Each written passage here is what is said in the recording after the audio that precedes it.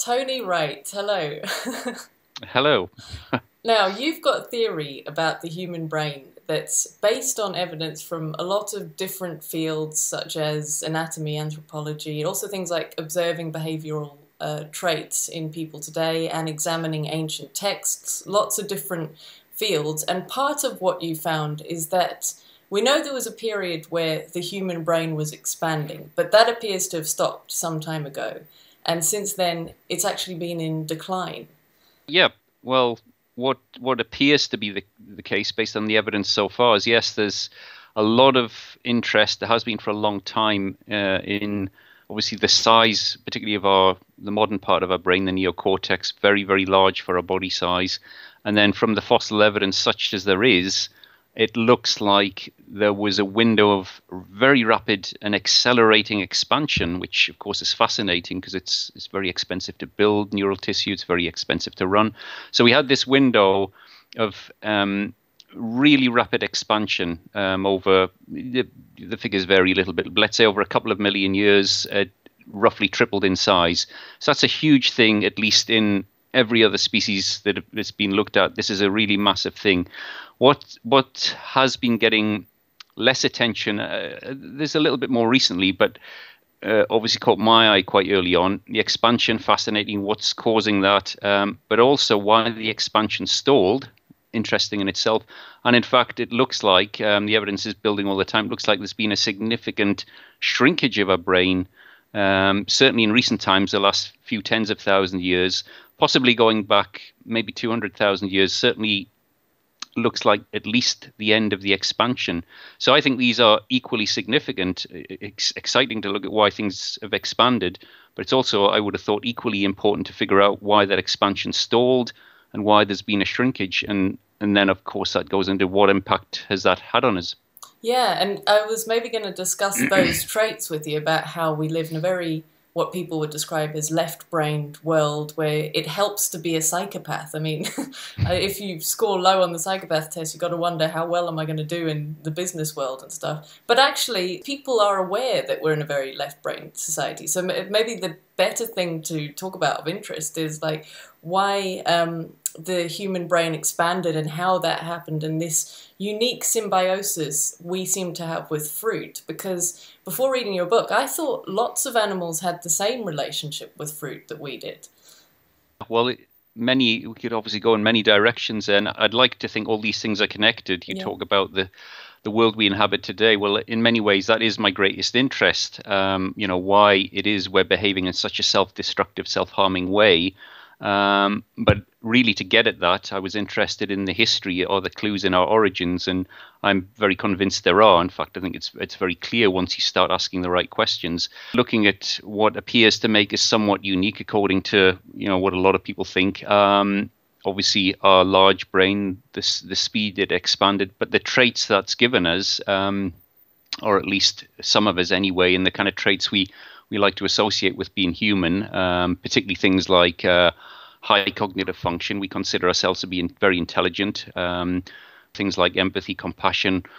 What is it that facilitates that? What is it that drives that? What is it that allows us to do things that are very um, different to that? So the aggression, the fear, the control, and you know that that ending up in wars and so on. So looking at these traits, uh, I, I it, it struck me. Well, what is it if anything, what is it that's unique in our origins, in our evolution, that could offer an explanation? Um, so, in pondering these things, um, one of the most obvious things that crops up, I think, is um, is our archaic our ancestral relationship with the tropical forests. It's generally agreed, and certainly in primatology, anthropology, uh, is a fair, well, a very high degree of consensus that we spent a very, very long period of time living in the forests, in the tropical forests uh, in Africa. Um, and beyond that, um, it wasn't just that we were living in the tropical forests, which are known to be uh, biochemically the richest ecology we know of, uh, so far discovered. Again, an interesting fact, I think. Um, but it was our specific relationship with the forest. Um, it's generally termed a symbiotic relationship that's in the literature. It's not discussed hugely, um, but it's it, it's a symbiotic relationship with the with the the tropical forest trees in, in such that we were eating the fruit of the trees or eating a lot of fruit. We have a again generally acknowledged in scientific circles. Um, we have a frugivorous anatomy. Um, that's something that comes from our time in the forest, and we were eating fruit. And the basic idea is a bit like uh, the way insects pollinate flowers. Uh, again, it's part of the plant's sexual reproduction. So they put on a show. They've got these big, gaudy flowers. Well, that's actually part of the sexual apparatus of the flowering plants. They produce a, a free lunch in the form of nectar, and the insects come along. They drink the nectar and carry away the pollen, which is equivalent of mammalian sperm, and take it to another f- flower, and, and, and, you know, very basic sort of symbiotic relationship. Um, and it shaped, of course, it shaped the flowers, it shaped the insects um, to the point where you get examples where there are insects that are specific to one type of plant. Oh, okay. So you you end up over time with potentially very close relationships. They yeah. effectively become the same species, and that's that is part of the definition of symbiosis, a very entangled symbiotic relationship where you have uh, two organisms, two species. Eventually, the lines blur, or they can blur, and you're effectively talking about a single organism. And that, as I say, that can happen with insects. Um, so you have an insect's entirely dependent on a plant, and vice versa. Well, if one of those dies out, so does the other. So we're talking very, very close relationships. And I think, um, and the evidence supports this, humans had and and a lot of our ancestral relatives um, and some of the living relatives still have that kind of relationship where we were um, part of the plant's reproductive cycle in that we were disseminating the seeds. And what the plants did to encourage this, uh, they effectively the the sex organs swelled up and they were pumped full of all sorts of chemicals and again similar to the insects very sweet and that was kind of the, the, reward. We were taking this stuff, eating it, and disseminating the seeds around the forest. And obviously, the plants that produced the most attractive or beneficial uh, rewards would do better in terms of reproducing. So, you know, very very basic mechanism, very well understood. Um, what occurred to me, um, and it seems to be generally absent from the literature, is that this relationship was potentially much much more deeply entangled than simply eating something and taking the seeds away. Well, that's correct. Um, I think you have to step back and look at exactly what fruit is. Okay. And um, my background's more about plant sciences and botany, so it's something I, I have a basic understanding of. Whereas a lot of people, even in the kind of scientific community, they tend to see fruit as a yes, something you can eat. It's a healthy snack or whatever it is but actually, a, at a more scientific level, it, it is the sex organ of the plant. It's effectively, for the most part, it's the female reproductive organ. And if you know a little bit about reproduction and how how that's such an important mechanism in whatever species, plant or animals, and it, it it's about radically different environment to the normal environment, the molecular environment, the hormone environment. Uh, in the same way, for example, that humans, the mammalian uterus, it provides a radically different environment for the developing fetus. Well, same with plants. Plants' reproductive organ provides a radically different environment. So, really, what we're looking at is a swollen reproductive organ, we're ingesting it. And I, one of the ways I've started looking at this, instead of thinking about eating um, fruit, take that a step further. Well, you're ingesting, eating the sex organs of the plant. That becomes interesting. Taking it a step further again, if you specialize, if you become a specialized fruit eater, let's say you're eating 50, 60, 70, maybe more, 80% of your diet is fruit and you have access to it every day, then rather than thinking about eating the fruit, you can begin to think about actually you're putting yourself in that reproductive environment. You're putting with this biochemistry flooding through your system all the time. Effectively, I know it's not quite the same, but effectively you're you're putting yourself in that reproductive environment. And as far as I can tell, that's that's correct. It's just a very different way of looking at it. So yeah, that's what I struggled with to get um, because I think somebody could think, therefore, if I think you described it as you're effectively in a kind of uh, plant uterus really. It's like it's like that. It's like taking a fertilized egg and putting it in the uterus of a sheep. It's a bit like that. And i think um, people may uh, read this and at first glance think so if you have a diet of small mammals does that mean you're effectively in a small mammal kingdom uterus. But the difference is that the chemicals in meat don't alter your body, do they? The chemicals in leaves or grasses, they don't add anything. And what plant, what fruit seems to have done with its complex cocktail of chemicals, because it's the sex organ of the plant, is add something massively profound to our anatomy that actually defines who we are in, in an almost frightening way, really, because it's so weird. Well, it's it's one of the most powerful ways to change the structure and physiology of an organism is to mess around with its develop, you know, its reproductive environment where it's developing the sort of embryonic and fetal and early development stages. Um, and ju- just picking up on what you said, um, I think a lot of things do affect us, but only by degrees, relatively small amounts. Um, it'd be different if we specialized in eating the sex organs of other mammals or something. That that might have an impact. I would suggest it wouldn't do us any good. And I mean, people do eat those kind of things because yeah. we're just recycling mammalian hormones.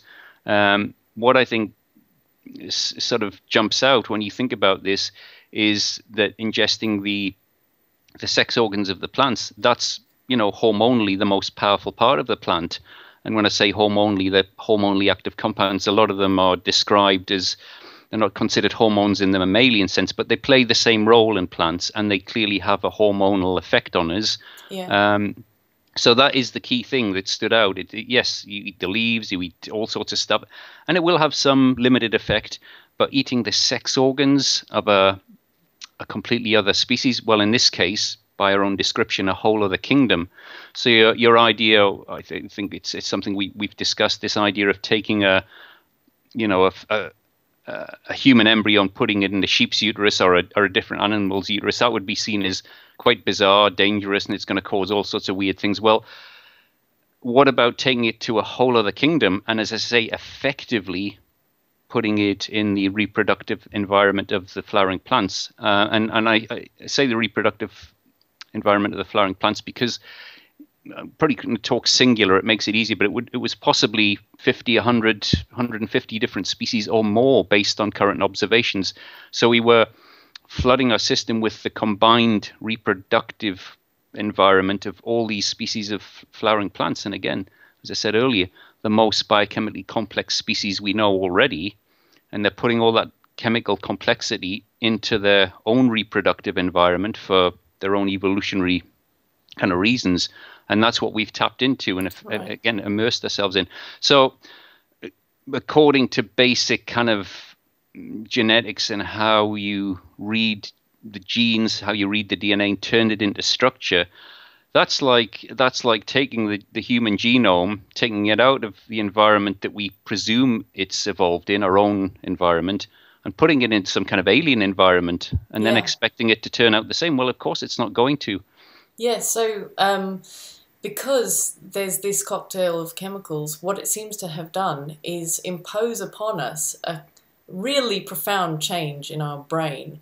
Whereas if you're eating meat or grass or whatever, the testosterone, I think there's that kind of thing in meat, it may affect your behavior in a certain way, but it's not effectively transforming you this fruit, from what I gather, has been kind of making us get better and better, almost like it's um, giving us a whole new direction of development and it's adding something.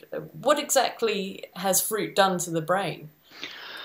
Um, well, I, I, think there's several things. Um, the area I'm particularly interested in is the hormonal effect, um, because again, that's an in, again very well understood, very well accepted um, that it's the hormones that read the DNA. You know, we there's so much written about DNA since its discovery, and a lot of focus on changes in the DNA code, and that's part of how evolutionary theory works. And I, and I don't have a problem with that. I think it's a very good theory, but there's a completely different way of changing the way um, you get uh, a sort of different result out of the DNA, and that's just changing the way it's being read. Uh, so the the idea is, um, if you're putting the human genome, and I'm talking, I'm not talking about an individual, I'm talking about us collectively, um, in this radically different um, hormonally active environment, it's going to have a it's going to have an impact. Um, the question is, what kind of impact? Well, I think stepping back and again just looking at it very simplistically, um, what we're talking about here is the female reproductive system of the plants. Um, and that certainly, as far as the plants go, that's a, that's again a fairly or a very unique environment. It's a kind of juvenile maintaining or inducing environment. It's, it's, it's sort of evolved to deal with the very embryonic form of the plants. Um, and simplistically looking at it, well, what happens if you put a, a piece of DNA or a, a human the human genome in an environment that's going to be juvenile inducing um, and it's also a feminizing environment? It is the female environment. Well that initially might sound like some kind of hippie philosophy. It's like oh yeah this is cool. You got this female reproductive system. You put the human species in there wait a few million years and see what comes out the other end. Although i think that's what happened um, obviously you then have to ponder well actually does this make any sense but when you start looking at the the sort of pharmacology and the biochemistry of fruit lo and behold, it's spot on. It does exactly that. Um, it's loaded. Uh, these these kind of reproductive organs systems are loaded with um, hormonally active compounds that do a whole range of things very powerfully. One of the key things they do is they dilute and compete with um, our own mammalian hormones. Okay. Things like estrogens, and testosterone. And we already know they're incredibly powerful, very necessary, and integral part of our development. And they, they play an incredibly powerful, almost disproportionately powerful role in the development of our brain, the structure of our brain, and things like um, windows of, um, oh, they're called developmental windows. So, for example, how long our juvenile period is, which is the window we need to grow a big brain in the first place. And the the effect appears to be by dampening down our own steroids, these um, hormones I've mentioned, testosterone, estrogen, reducing their activity, it it prolongs the period when we're still in this juvenile form. And I think what happened um, is exactly that. It, it sort of began extending the period of our juvenility, and eventually, even by the time we were reaching sexual maturity later and later, it even diluted that process. So so we didn't we didn't reach sexual maturity quite as or, such a, a, sexually mature form, um, and we, that stayed with us all our lives. And of course, the interesting thing for me is, well, what impact would that have on our brain? Yeah, that is fascinating because we know that um, if you have a long period before your uh, you go through puberty, that I think you might have said this already, but just to hammer it home, it um, allows your brain plasticity and it can therefore develop uh, more intelligence, a, a, more complex brain, and the idea that you would then have um, this plasticity after puberty or a longer period of juvenility is uh, crucial to increased intelligence, isn't it? Well, I, I certainly I think there's a correlation um, between size and intelligence. It, it's it, it, it's not all about the size, but I think the mechanism that was driving the expansion of our brain is very important, um, and particularly the structure. And I think that's the key bit here. Um, a, a, juvenile brain. I mean, the, in a very general way, this the standard mammalian brain it goes through these windows. You have this juvenile phase, and it looks like, and certainly a lot of species, if not most species, that window, that juvenile window, um, is the period where you can learn, acquire a lot of knowledge, uh, information. It, it's a, it's a much more plastic sort of window, and I guess for most species, it seems to work along the lines of, you know, whether you're nurtured by your parents, depending on the species, or if you're left to fend for yourself, you have this window where you learn stuff. Um, and that might be for months, might be for a few years at most in, in most mammals. Um, and then as the hormone regime changes and, and starts turning you into an adult so you can reproduce, which is again integral part of the kind of standard theory of evolution and part of it's about reproducing more and reproducing more. So when that when that begins to change, one of the key things that changes, of course, is the structure of your brain. Um, that in turn affects everything else. But what it seems to do is, as the brain matures, as it becomes more adult, it loses this plasticity. It loses okay. this capacity yeah. to learn new stuff, to, to, to interact real time. It's running on programs it's learned. Now, that's clearly very effective. It's a very yeah. effective strategy. Many, many species have survived for apparently for millions of years using that strategy. I don't think there's anything wrong with it. Um, however, it's going to severely limit um, your capacity to engage real time, particularly if you live a long time.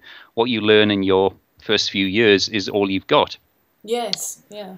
Uh, so I, when you add this relationship with fruit, the sex organs, the female sex organs of plants, um, what it opens up the door to, I think, is an ex- extending window of juvenility and beyond that, a sort of dampening down of the maturation process. So the process that would turn us into adults, uh, we become uh, sexually mature, we can reproduce. And incidentally, and I'll touch on this later, I'm just going to throw this in now. It's also that effectively when we start aging. So anybody okay, interested yeah. in longevity, that's you know we don't really age when we're a juvenile. We're still growing and everything's developing. That's uh, the thing that's going to get people. They'll be like, I don't care about intelligence, just want to. Well, well, I know, and I've seen this rather late. It's always been there. I've been more interested in our psychology, but so many people are interested in not wanting to die and stuff. I think we were, I think we were locked into a mechanism that actually did give us extreme longevity. We're all we're already very long lived. Yeah. As a species generally, anyway, but I think it it probably went on a lot longer simply because this relationship with fruit was preventing us from reaching maturity. It slowed the process down, so we had this increasing window of juvenility. But even as we approached maturation, that process was diluted, and we ended up being partially juvenile for the rest of our lives. Um, we never reached this fully mature state. And I think that's the key. It sounds almost um, counterintuitive, but it's actually the fact that we've we now more fully mature and more quickly that loses this unique plastic structure that we had as children or we had in this ancestral period. Um, simply because of the effects of fruit, at least primarily, that's what was driving it. Um, so I think it, this is mostly about um, maintaining a juvenile state, and it's in the literature. Again, this is one; these are one of the unique areas that, that have been picked up on by many researchers that humans and some of our living relatives display juvenile traits into adulthood. Okay, what, what kind of things? Um, well, some of the some of the things that are discussed as as possible candidates for this um, is our flat, more juvenile face. It's we, we don't have a sort of protruding face. Um, that's that's one area. Um, the, the fact that we do mature later, um, yeah. so that late maturation, although again, as you as you probably well know, that's changing even as we watch. We're yes, watching yeah. the age of sexual maturity drop before our eyes, which is very scary. If this is central to providing us with a highly intelligent brain, we're yeah. losing that window. Um, some people have talked about our nakedness being a juvenile trait. When I say nakedness, that the hairlessness, I mean we're not really hairless. We just have very, very fine hairs. They don't they don't form into this much thicker hair.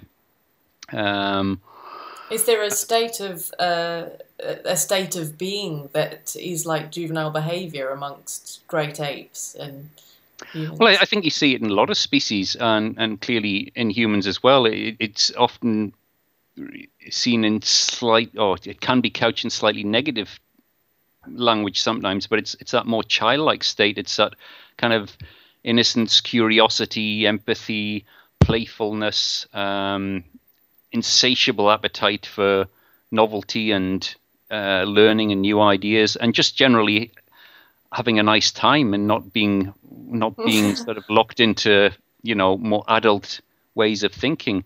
And you know we're, we're, we've we've grown up in times where you know we it's almost you can't wait to become an adult because that's when things get really cool. Well, it could be back to front. We could have lost some of those or a lot of those psychological traits, plus a lot of other traits that we don't even know about anymore, particularly to do with high cognitive function and our ability to keep learning as we get older. Um, those are the traits that I would say we've been losing because of this breakdown in the relationship with fruit. Yeah, I see. So, so effectively, we mature we reach puberty and then that's us finished as an article and then you reproduce as that thing. And you don't learn profoundly new stuff after puberty like how to walk and talk and all that kind of thing. It's harder to learn languages. You're very much reliant on what you have already before puberty. But um, you know I, have read in your book that the relationship we had with plants uh, uh changed the brain in a way and am I right in thinking that part of it remains protein after puberty, and that's quite a unique thing in humans? Yes, I think it still does, although I think we've lost a lot of that as well. I think that's the very thing we're losing. I think that was much more the whole picture at one time, going going back when we were still part of this symbiotic relationship. Um, I think the new brain that emerged was effectively a juvenile brain.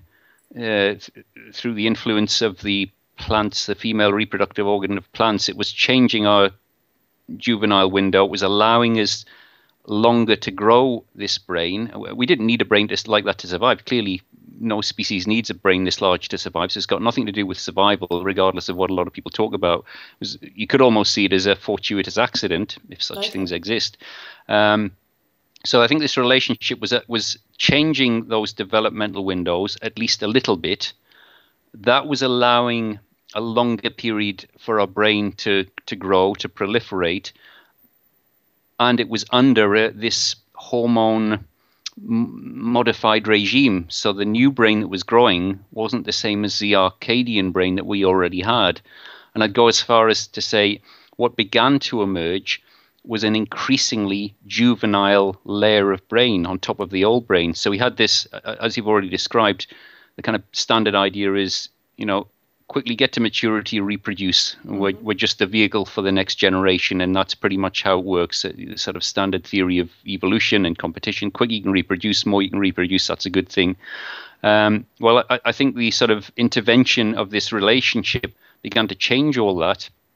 Um, and it, as I say, it, it, it facilitated the emergence of a new kind of brain. And mm, again, uh, in some kind of ironic twist, it was an increasingly juvenile layer of neural tissue. Um, and being that it was sort of growing upwards and outwards, effectively encasing the older brain in this new layer, um, and the evidence supports this that the outer layer, as, as the brain expands, it's, it's it's the ever moving outer layer that's the executive layer. It has the final say. Doesn't mean that we're not utilizing the the all elements of the brain. It's all you know at one time all working harmoniously together. But increasingly juvenile layer emerging, and that's obviously going to change our psychology, our behavior. But it's also the brain also runs our own hormone system. Well, well, this okay. is what I'm talking about when I say, like, you know, people may think, what, what's so special about fruit? Because uh, all all plants have some hormones in them, all uh, meat. But you eat meat or grass or leaves or whatever, and it may affect your behavior. It may do small things like that, and it will. But effectively, uh, most of what it's doing is just maintaining what you have. It's keeping what you have and maybe changing a tiny bit. So we got into this symbiotic relationship with plants, and during that period where we were eating it all the time, non-seasonal fruit.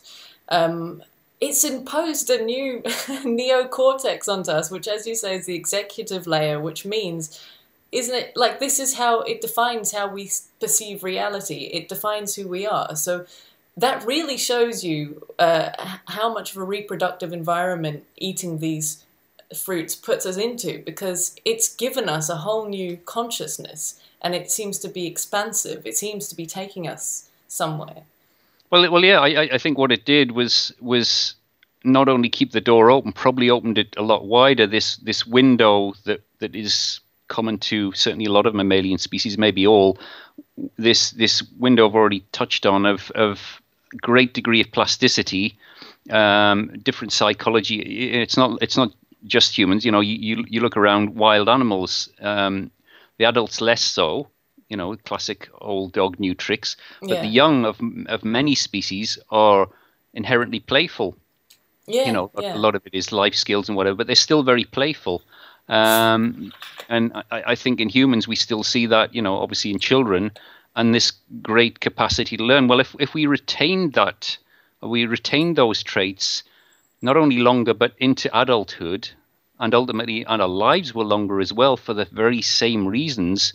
Then it totally it, it doesn't just change things a little bit. You're talking about you know, it's, it's almost like an alien species emerging that, that runs contrary to all our thinking, and understandably so for the most part. That, you know, it, the idea that this could have happened, let's say, in a hostile environment where there's big predators on the savannah, the kind of classic ideas, it's insane. It, it, yeah. It's like it's like taking you know, um, our current form, maybe tribal culture that do live in those environments have learned how to survive very effectively, wiping the memories clean and, and, and saying, yeah, you, you're now like um, eight year old kids, go and have some fun on the savannah. Yes, that's not going to last very long because you're going to be eaten, or, you know, instantaneously. However, in the deep tropical forest, you know, you've got the tropical forest, and then deep within that, you've got this non-seasonal sort of niche. So you could have a forest boundary, certainly when the forests are at the most expansive phase of hundreds of miles, if not even thousands of miles, certainly hundreds of miles, where there aren't, first of all, you don't get grass. Why is that important? Because you need grass to support big herds, the grass eating herds. And what do you get with that? You get the big predators. Mm-hmm. Well, you don't have that in the forest. It's not okay, that there are yeah. no predators, there are very, very few. Uh, in Africa, currently, the only major predator that I'm aware of is the leopard. It will hunt in the deep forest. But even chimpanzees are seen to group together and defend themselves. Oh, so right. I think an intelligent biped, certainly working collectively, if we, if we can, it's generally accepted we can survive on the savannah. I don't have any problem with that. Humans yeah. are highly adaptive, highly intelligent. We can survive in all sorts of hostile environments. So the idea that we couldn't uh, live in the forest and deal with the relatively minor threats there, you know, I think it's a relatively benign environment, but it would have facilitated this regression. It's maybe yeah. not the best word to use, but you know, regressing to a more childlike state but bringing with it phenomenal traits and abilities that we just wouldn't have, and, and virtually no other mammals have. We, we see glimpses of it in the other apes, and then possibly in, in totally different sort of um, species for very different reasons, um, but it's very rare. Um, and, and again, it's what was unique in this environment. Well, how many species have this relationship, this perpetual over evolutionary timescale relationship with the sex organs, not only of another species, a whole other kingdom. Now, if that's not extremely unique, and and again, it's in the data. It's not like anybody's arguing about this. Okay, so and yet so... this is this is obsession. Oh, what what caused all this? Let's look on the savannah. Let's look on the coast. Let's yeah. look at hunting or tools or fire or what. No, no, no. You've already got an extraordinary, unique relationship and as long as the forest's stable, that can go on for hundreds of thousands or millions of years. It seems to me what you're describing is a difference between you're either in protection mode or growth mode. And I've always found that theory that meat made the brain grow big flawed on so many levels because, for a start, we know the body doesn't process meat that well. If you eat Atkins style, you lose weight. Um, and in order to eat uh, to hunt, you needed the intelligence in the first place to make tools to hunt. So, like, you must have built the intelligence up already by the time you caught the first animal. But also, what you're saying now is like, if you're on the the savannah, what if you're hunting for things, you're also then at risk of being hunted. And so you must spend a lot of time in protection mode and, and looking out for yourself. And it doesn't sound like a, an environment where juvenility would work at all. And although, uh, you know, we see it as um, a negative state in a way because you're kind of helpless when you're juvenile, in an environment where you don't need to fight constantly, juvenility could be a brilliant thing because it's that window of growth, isn't it? It, it's it seems like a possible contradiction, and it, it might be hard for us to get our heads around it initially. Because I'm not suggesting we stop growing at eight years old and that's that was the end of it. I'm saying we we pulled some of those traits through mm-hmm. in, into a more mature size. We still grew, um, but we retained some of those psychological and hormonal traits that allowed us to, for well, certainly facilitate even forced our brain to grow bigger, whether we liked it or not. But obviously, that increasingly juvenile new brain was allowing us a very different perception, very different psychology. The idea is the new brain was once that kind of got a foothold and began to expand under the influence of fruit, it began to feed into this mechanism by pumping more juvenile hormone regime. So it kind of starts fueling its own expansion, completely and essentially underpinned by the fruit. You know, we're talking about a symbiotic relationship here, remember? Uh, and this is where I think, you know, uh, possibly mentioned this example before. Um, thinking of symbiotic relationships, um, a lot of people will be familiar with lichen. Yes, I hadn't heard see, this. See it hanging off the trees in, in, in damp forests, this kind of stuff. Well, that's a classic example uh, where you have a fungi and an algae that have formed a symbiotic relationship um, or many different kinds of symbiotic relationship, and the sum of the parts is radically different. Um, you know, the, the, the structure and ability of the lichen to survive in many different environments is greater than the individual components, and and that that's that's perfectly normal in symbiotic relationships. Well, if you apply that thinking to our symbiotic relationship with plants, and once you start to recognize that it wasn't just eating some fruit and spraying some seed. I mean, yes, it was, but there's a hell of a lot more went on there. Again, you have to reframe how you think about this. So you're ingesting this reproductive biochemistry 24 7 for millions of years. And over time, that becomes an increasingly entangled relationship. And what begins to emerge, this is the point, whatever emerges from that relationship you can quite legitimately say, you know, it, it's an emerging property of the symbiosis, or it's effectively a plant-animal hybrid. Now, I'm particularly yeah. here talking about our neocortex. You know, uh, I think most of us grown up with the idea that you know, aren't humans clever, and we, yeah, we we we kind of research ourselves as an autonomous being. Perfectly understandable. It works for most species, and yet in the literature, it's already accepted we had this long symbiotic phase. So we kind of yeah. ignore the implications of that and look at our own genome. You know, we have the Human Genome Project, and I think uh, a, lo- a, lot of expectations that we're going to find amazing DNA code there that's going to explain how we're so amazing and clever.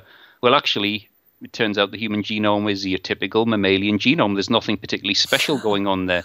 Um, and you know, again, all that build up, and then not enough, not an awful lot of talking about. Well, actually, why isn't the genome explaining why we've got such a huge brain, etc., yeah. etc. But we know from changing transcription environments and symbiotic relationships, you can end up with radically different results, not by changing the genome, but by changing how it's read. And that's exactly what I think went on with our relationship with fruit over millions of years. I, in fact, I can't, I, I can't imagine a mechanism. I've never seen any evidence of a mechanism where you can take a species, take a genome, put it in an alien reproductive environment and it not completely change everything. That's, you know, yeah. it's just not possible by any understanding we had. So once you elucidate the known pharmacology and mechanisms, it points strongly to a juvenile inducing and maintaining environment, a feminizing environment. It reduces the masculinization process, which is particularly relevant to male brains and how they change radically at puberty and mm-hmm. of course then affect the rest of everything we've created because you know males have come to dominate our, our culture well if all that um, had radically changed in the forest and then the forest disappeared which can happen forests um, tropical forests can be stable for millions of years. But ultimately, if the climate dries severely enough, and the evidence supports this from pollen records and all the rest of it, you can get catastrophic shrinkage of even tropical forest. Um, and the evidence suggests that may well have happened various about, times. What about the flood idea? Is there could that have been a possibility? Uh, I, I think the mythology around floods may well have a basis in reality. Obviously, people are looking at this, but as far as I'm concerned, it's much too recent. It it, it may have, you know, uh, I, I, think there's people talking about potential comet or asteroid impacts on the on the ice caps, uh, or tidal waves, or uh, all that's fascinating stuff. But I think that's at a much later epoch.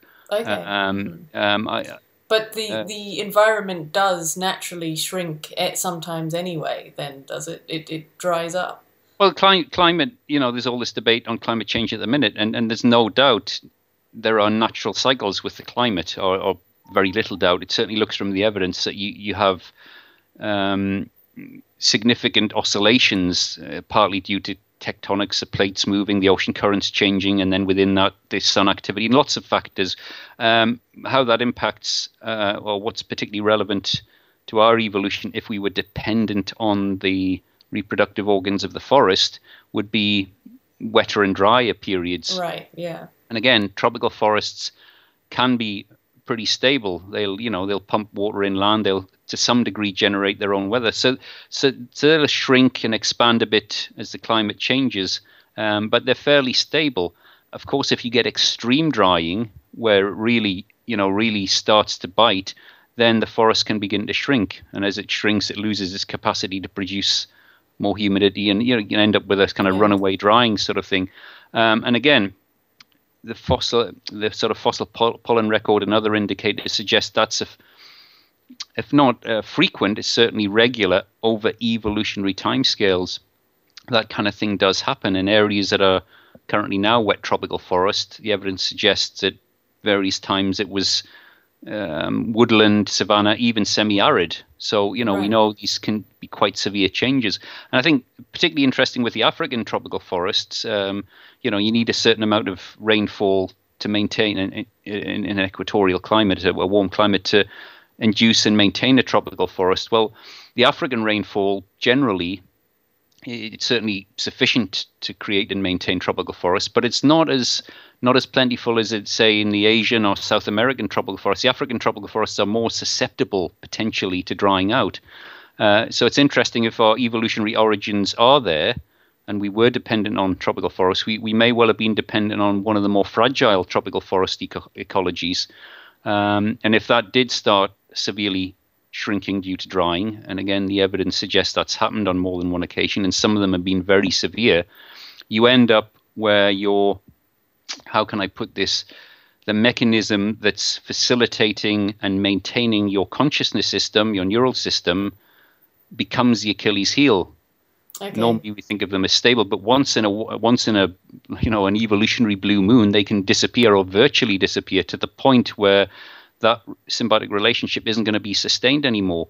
The break is going to happen. We're not going to have this reproductive um, biochemistry flooding through our system, plus all the other cool stuff that comes with fruit. I mean, I'm mostly focused on the hormonal impact, but fruit also provides simple sugars. Well, you need simple sugars to run yes. your brain and you need more of them if you've got a big brain. So it's a really cool relationship. It they're loaded with antioxidants. Well, again, if you have a big brain, any brain needs protection because it's highly volatile fatty acids. If you're building a huge brain, it's a big headache. How are you going to protect it? Yeah. Not such a problem if you're flooding it 24/7 with loads of really powerful antioxidants.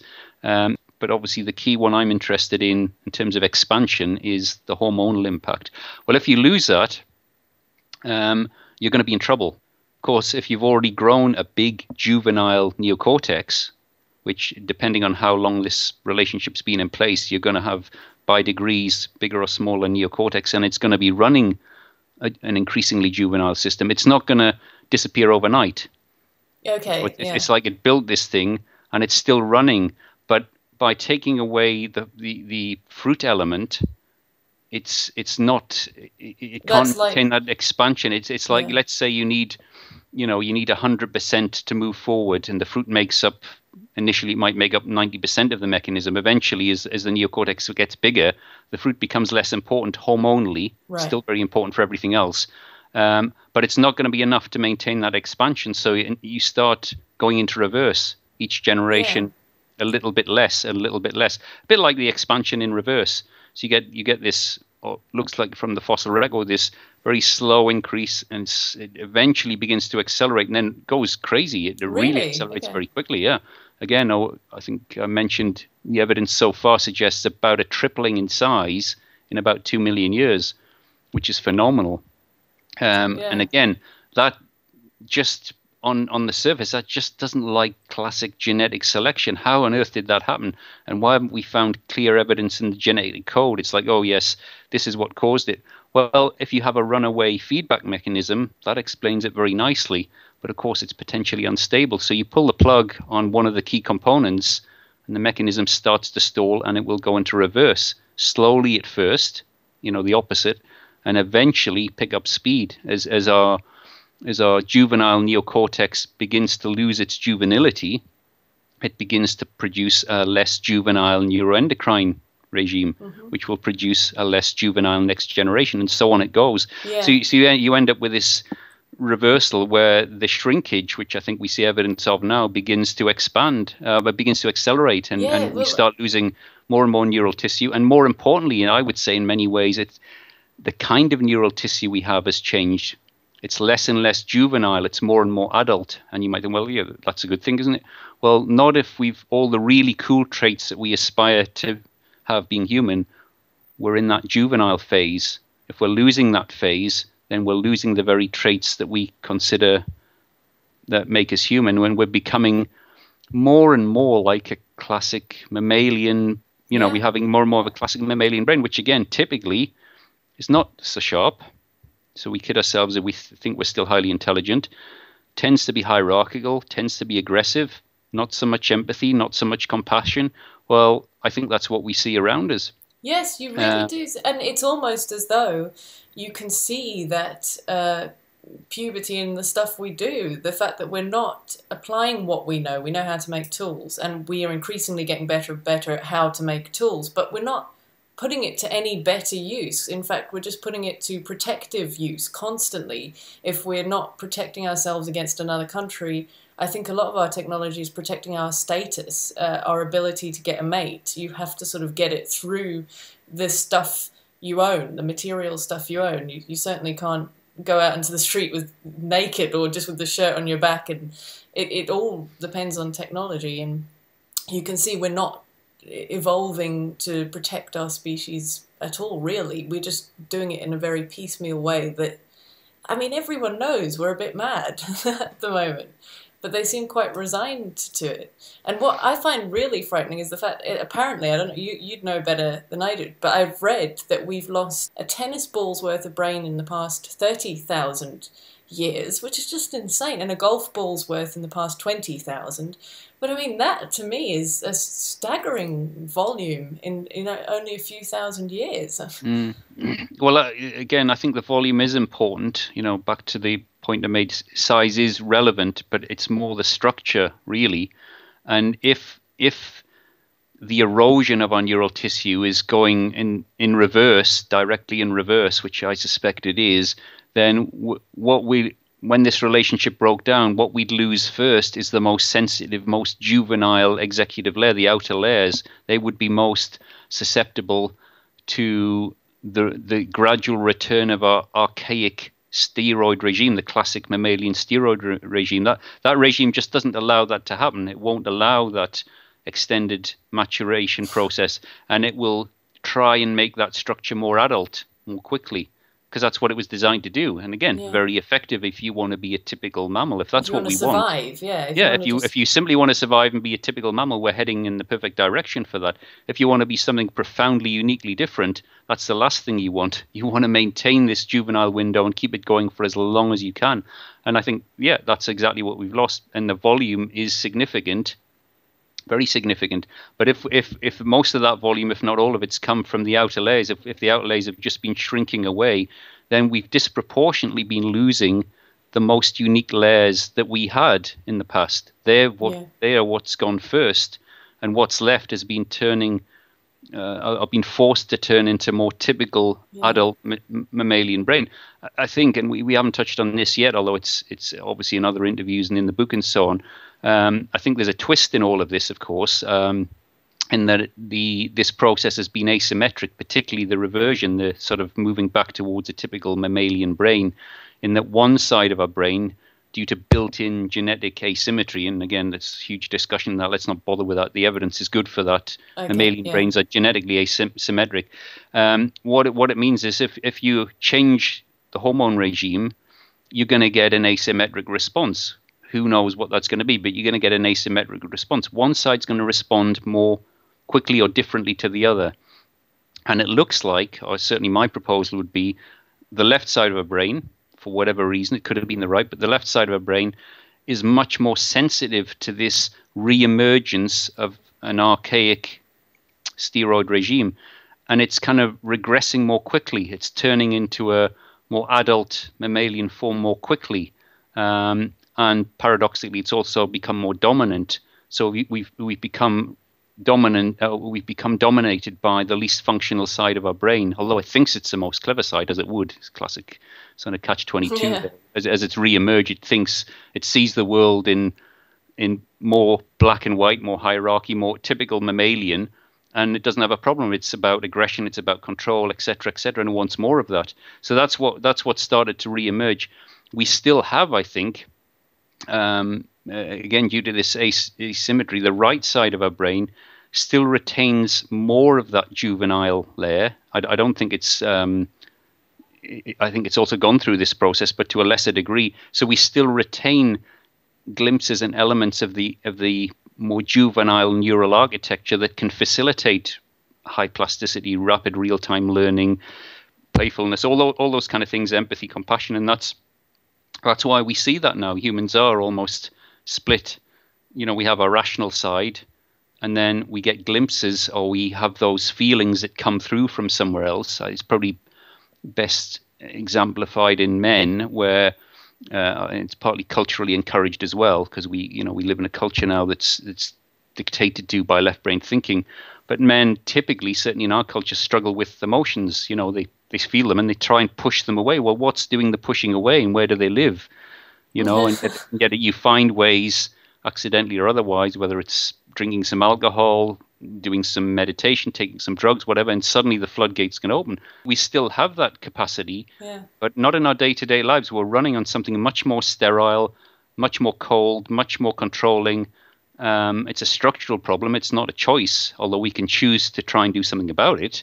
Um, and locked away, we have this otherness, this other sense of self. And it, you know, again, classically, we're as men, certainly in this culture, we're encouraged to grow quickly, mm-hmm. not to show childlike emotions. You know, there's a lot of clues even in our day-to-day language.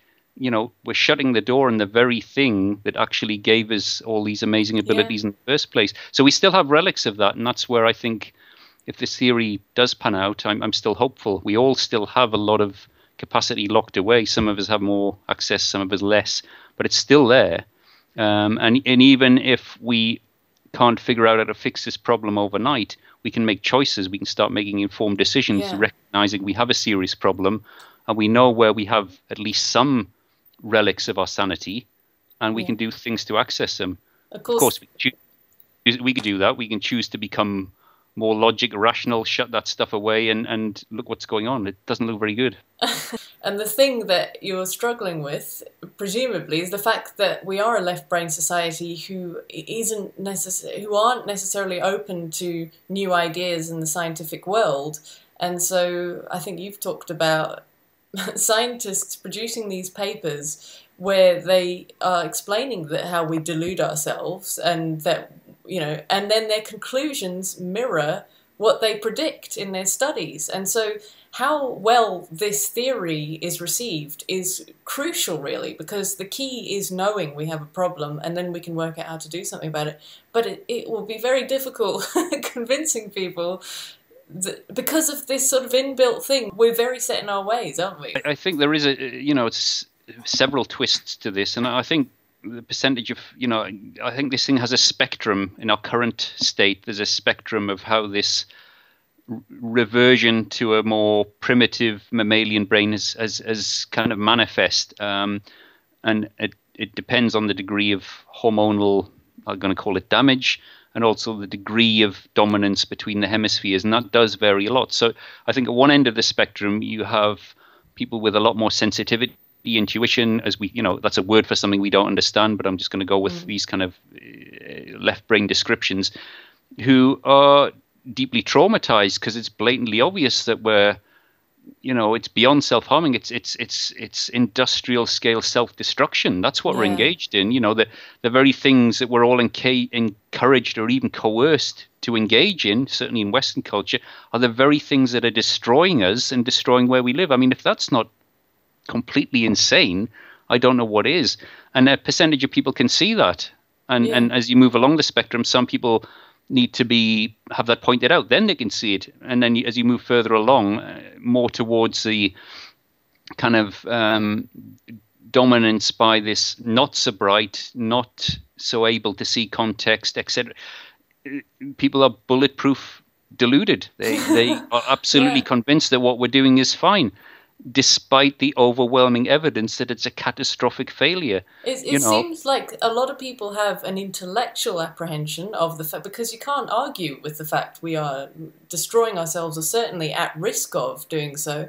And when you look at things like obesity and everything we seem to take ownership of, like nutrition, for instance, we seem to do something wrong with it. Like uh, sexuality, pornography is causing people problems. Like everything we commercialize seems to go downhill. People must have an intellectual apprehension of that, but what I see is they're not emotionally aware of it in an immediate way. They they would really uh, some people would really have to meditate hard on this subject to feel um, motivated to do something about it because for the most part we just don't feel motivated. There's, it's the emotional side I think that would push us to act that seems to be missing in a lot of people. Well, uh, yes, and add to that, we've created increasingly created societal structures that inhibit that. You know, it's all part of the fear that comes from having a rather stupid brain, and the world's quite frightening. I think that's what's happened um, the way this condition or the, this post symbiotic process has emerged, you've ended up because of the hormone variation between males and females. I think basically males, on average, get hit hardest with this. It's not a, entirely a male thing, but males get or can be hit hardest with this, and they end up. Uh, we can end up with a part of our brain more damaged than average, so it's more frightened it's more in need of control. And because it's dominant, that's what manifests.